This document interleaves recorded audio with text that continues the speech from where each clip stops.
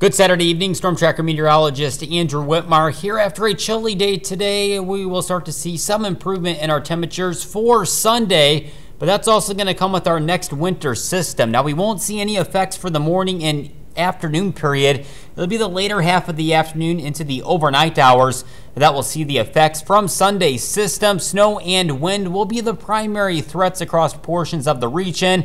A light wintry mix in the Red River Valley for the late afternoon and evening. Highest amounts will be across Minnesota as far as snowfall goes.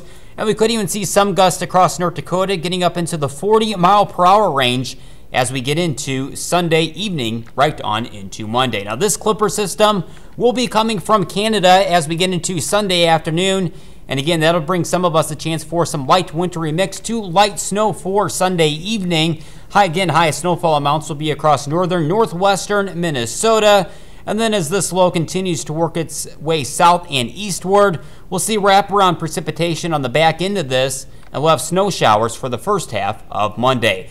Quick look at the snowfall forecast. The trace to one inch from Langdon, Grand Forks, Fargo-Moorhead down towards Fergus Falls.